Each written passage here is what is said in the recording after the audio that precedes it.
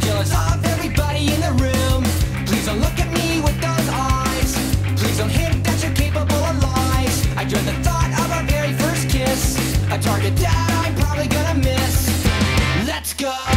Don't wait. This one almost over. Honest. Let's make.